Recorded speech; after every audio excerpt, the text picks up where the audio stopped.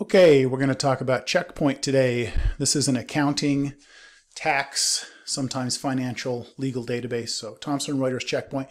So today we have to look up some IRS notices. So I'm just going to copy and paste this. There's a list of IRS notices I have to look up. And Checkpoint has this kind of content, but it's it's it's not the easiest database to search. So I'll show you one thing. You could just type it in the search box here, or I just paste it in the search box hit search, and it has a weird way of ranking things. In there, their search engine does not rank like Google or any other database I've ever seen. It just brings them up in these order. Federal tax cases. Well, no, that's not what I'm looking for. More federal tax cases. okay. IRS rulings and release and releases. And this is tricky because you see, I was I'm looking for notice 2007-92. Okay. This is IRS news or IR news release. It's not the same thing.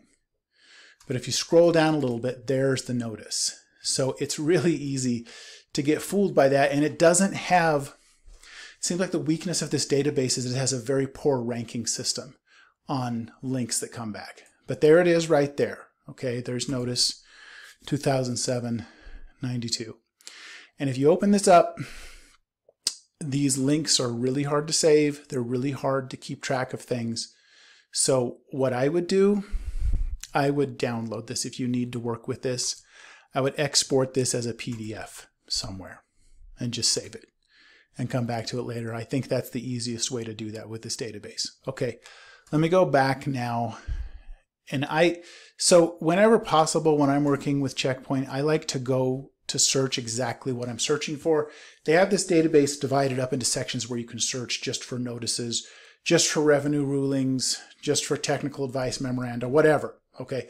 What I would do for that, and it's a better search, and it's I know it's more complicated. It's a lot more complicated, but if you go here to quick links, like I have several IRS notices to look up. I don't want to have to go through that process. I just went for every one. So I've got notice 2007-92, still have that I think, saved in my clipboard. Okay, here's what you want to do. I went to quick links, and you go right here, IRS pubs and other tax docs. Then you're not going to find it here. You might it might come up from this. What I do, I go to here where it says more, and there's the notices right there. I want to go to their library just of notices. Now, this could be too too many steps for you. What I like is once I'm here and I have to look up. It's only going to look up notices. Leave that there. Let me paste this in here. Now, get rid of notice. If you're going to search this way, get rid of the word notice. Just search for that, that citation, just that number there. Search. And it comes right up. Comes right up to notice 2007-92. I don't have to do any messing around with looking through all the cases and everything and trying to discern, okay, I know, like I said, it was a lot of steps.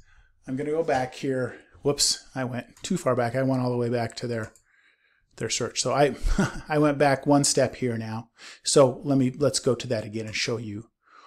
Again, it's it's a tricky database to use. What I would do instead of back to search results, that'll take you all the way back to your very first search. Go back, just use the back button. It seems weird. It'll still take me right back here because there's other notices I want to look up. I want to look up this notice now.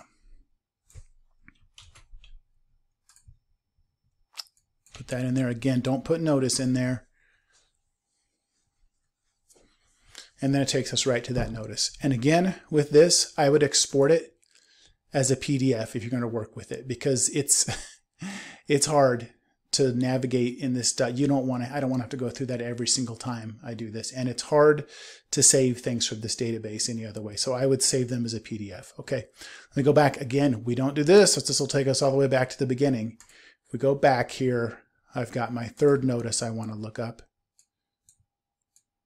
Just going to copy that. Again, I don't need notice in there. Put that in there. And it takes me right to that notice. So that's how that's how you do it. You can either start at the very beginning, search for this, and look through a lot of be prepared. So many times I look things up in Checkpoint and I think it's not in there. It's I don't know. It's it's a strange search engine. So I can just search the general search engine. and wade through all this stuff that is not what I'm looking for. News release. You can see that's easy to get fooled by it. There's a news re news release, the annotation news release. This one's purple because I clicked on it before because I was fooled by it, but it's the notice. And then here, whoops, no, the notice, that's the one we are looking for. The news release was up here somewhere. I think so. Anyways, as you can see, it's a confusing database and the results are different now than when we searched before. I swear, I think so.